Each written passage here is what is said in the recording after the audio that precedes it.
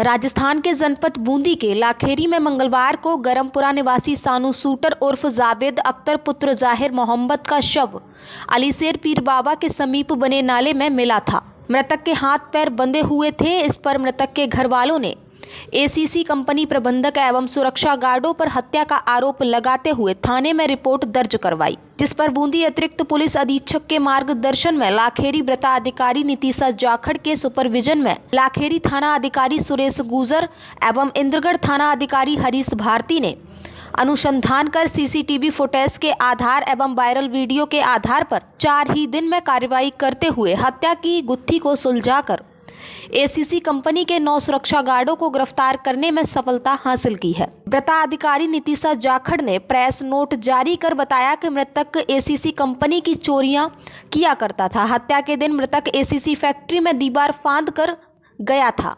जिसे सुरक्षा गार्डों ने पकड़कर बाँध दिया। एवं उसके साथ मारपीट की एवं उसे अली शेर बाबा की दरगाह के पीछे बने नाले में फेंक दिया। गहन पूछताछ में एसीसी कंपनी के सुरक्षा गार्डों ने जुर्म कबूल कर लिया है एवं मुख्य नामजद अभियुक्त नरेंद्र फरार चल रहा है, जिसे जल्द ही गिरफ़्तार कर लिया जाएगा। 25 तारीख को लगभग एक बजे ज़रिए टेलीफोन सूचना मिली कि एक डेड बॉडी नाले में गिरी हुई है। तो एसएचओ और मैं मौके पे गए तो वहाँ देखा नाले में एक डेड बॉडी मिली, जो शानू शूटर की थी। उसके भाई साजिद अली का कहना था कि एसीसी के गार्डों ने इसको मारकर इधर गिरा दिया है।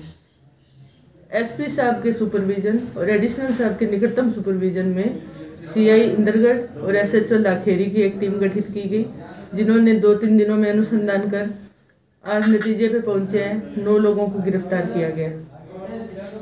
घटना में नामजद आरोपी को लेकर क्या है?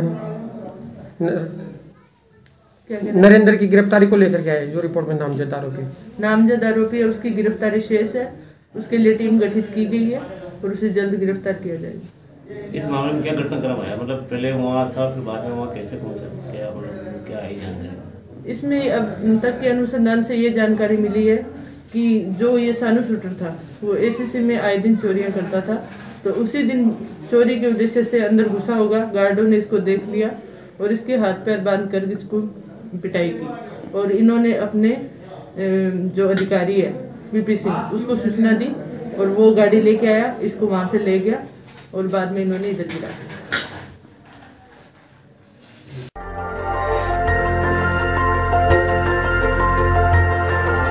देखते रहिए डीबी भारती समाचार। नज़र हर खबर पर।